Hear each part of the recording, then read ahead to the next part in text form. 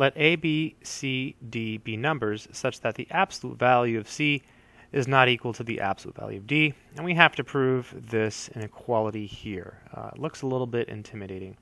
So this condition here is mainly so that the denominator in this fraction here makes sense, right? We want to make sure that we're not dividing by 0. So proof. So over here, I'm going to do a little bit of scratch work uh, in case we need to. So first of all, notice the numerator looks pretty clear. It looks like it's just the triangle inequality. It's the absolute value of a plus b less than or equal to the absolute value of a plus the absolute value of b. So um, I think we can just focus on the denominators and then at the end of the proof multiply by this and then use the triangle inequality. So the first denominator looks like this. If you ignore the a plus b, it's really just this, 1 over c plus d less than or equal to 1 over the absolute value of the absolute value of c minus the absolute value of d. So if you multi if you cross multiply, and you can without switching the signs because everything is positive, you get the following. You would get um, the absolute value, absolute value of c minus the absolute value of d. So it would look something like this. And if, if I read it backwards, if I write it backwards, um, it might make sense. So this, reading it backwards, is the reverse triangle inequality. So it's almost as if this problem is just like a synthesis of like the triangle inequality and the reverse triangle inequality, and they've created like this monstrous inequality. Um, let's go ahead and prove it. Let's prove it.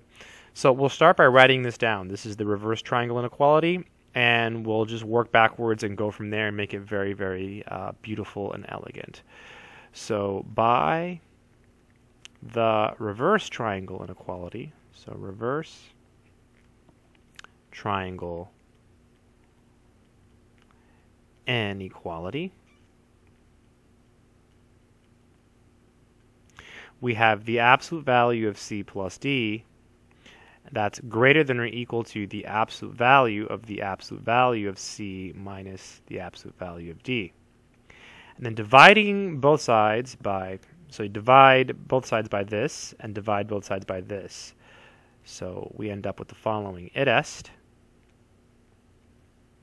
we have 1 over, okay, 1 over um, the absolute value of the absolute value of C minus the absolute value of D greater than or equal to 1 over the absolute value of C plus D.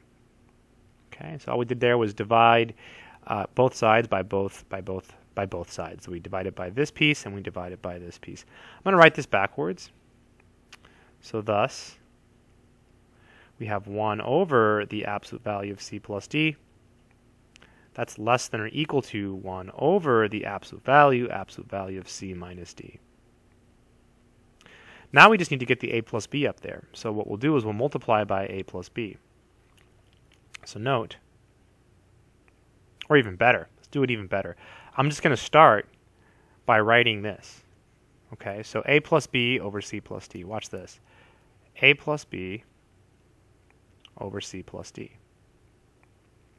And then we can do this. We can write this as the absolute value of a plus b over the absolute value of c plus d. Okay? And then what you can do um, is you can use both inequalities at once. You can use this one. And then we can also use the fact that the absolute value of a plus b is less than or equal to the absolute value of a plus the absolute value of b. So you can use them both at the same time or individually. You, you can do a little bit of algebra to make it more clear. Um, I'll do a little bit of algebra to make it more clear. I don't I don't think it's necessary, but but I'll show it. I'm going to write this as 1 over c plus d times the absolute value of a plus b. Maybe this will add some clarity to it, right? And so this is less than or equal to. So I'll just go ahead and replace this piece first. So it's 1 over the absolute value, absolute value is c minus d. Then we still have the a plus b. And then it's less than or equal to 1 over 1 over. And let me go back up just to make sure that we're on the right. Yeah, so we're trying to get We're trying to get a plus b. Okay. So now uh, I'll keep the denominator the same, and you just you just replace the top with uh, a plus b. And then just rewrite it. This is equal to the absolute value of a plus b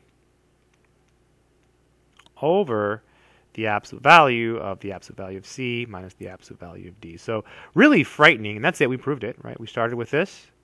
We showed it's less than or equal to this, and that's a proof. So frightening problem look, looks really scary. It's like this this like mutant synthesis of like the reverse triangle inequality and the triangle inequality. Like they they they've teamed up uh, to create uh, this frightening looking inequality, but it's really not that bad. Um, you just have to kind of do a little bit of scratch work and clarify your thoughts. So I hope the video, uh, this video has been helpful. That's it.